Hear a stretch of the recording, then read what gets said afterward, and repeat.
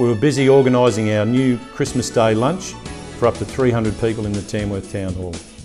We had many local families and their children, single people, neighbours, pensioners, people with disabilities and even people from different cultures. It was just great. Some community and corporate groups also sponsored the opportunity for some disadvantaged, underprivileged people to attend the Christmas Day lunch. Even the homeless community. It's locals look, looking after locals. That we're all together, we're not, we're not actually breaking up, we're all family together as a Christmas, as one big Christmas. It's very uplifting to me. People that of all walks of life here. It's made me feel much more comfortable to come here and say a few words.